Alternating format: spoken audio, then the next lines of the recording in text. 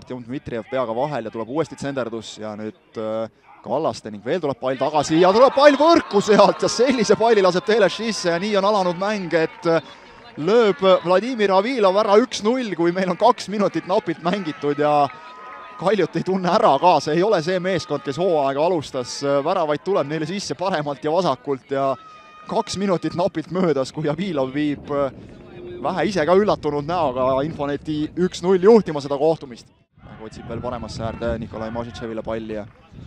Mažitšev seal saab Kallastest mööda, saab löögile ka minna ja Teles on peaaegu puterdamas seda palli. kahekümne kolme peale pärnakad eilse võiduga tõusid kahekümne viiele punktile, kui nüüd Ats Purjalt tuleb korralik löök ja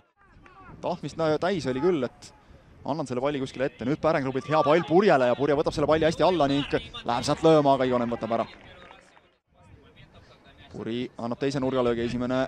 oli ohtlik ja nüüd Igonen eksib seal selles olukorras ja pall on lahti ja on üks-üks. Ats Purje lööb ära ja see läheb puhtalt Igoneni kraesse praegu. täiesti valesti hindas seda olukorda ja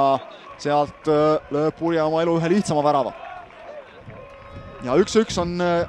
käes, kui kolmkümmend minutit mängitud ning Puštov läks ja istus maha pahaselt, sellepärast et no see oli tulemas, Kalju siit keerutas, keerutas ja välja keerutas. Aga jätkub see rünnak, Vakui on nüüd paremasse äärde sattunud ja sealt lükatakse edasi eestpostist ja Purja on keskel olemas ja Igonen toob ära lati alt selle palli. Paneti meestele. Ivanov lööb palli puhtaks ja mitte just kõige õnnestunumalt ning nüüd saab selle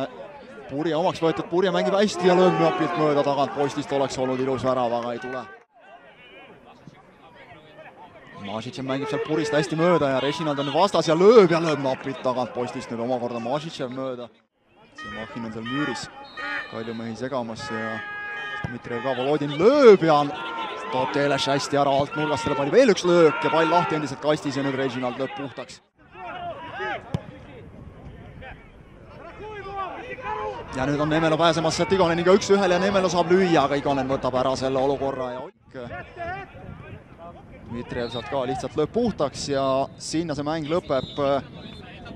üks-üks, väike pettumus mõlema meeskonna jaoks, kindlasti vaatame, kas saame platsi pealt ka